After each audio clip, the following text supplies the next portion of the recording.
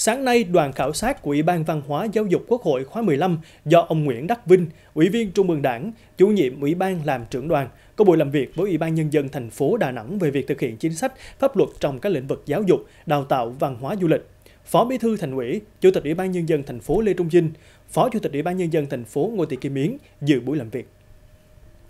Tại buổi làm việc, Ủy ban Nhân dân thành phố đã báo cáo về việc thực hiện chính sách pháp luật trong lĩnh vực giáo dục, đào tạo, văn hóa du lịch trong thời gian qua trên địa bàn thành phố.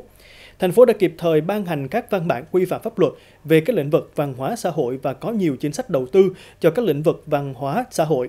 Chất lượng giáo dục và đào tạo có nhiều chuyển biến, duy trì giữ vững và từng bước nâng cao chất lượng phổ cập giáo dục các bậc học. Văn hóa được quan tâm, có sự gắn kết để phát triển du lịch. Công tác phục hồi, bảo tồn các di tích lịch sử được chú ý, lĩnh vực du lịch phục hồi tích cực và phát triển khởi sắc kể từ cuối quý 1 năm 2022. Nhiều sản phẩm dịch vụ du lịch mới được tổ chức đã góp phần tạo không khí sôi động tươi mới, thu hút đông đảo du khách trong nước và quốc tế đến với Đà Nẵng. Việc thực hiện chính sách pháp luật về đất đai cũng được chú trọng, nhất là công tác quản lý nhà, đất liên quan đến tôn giáo.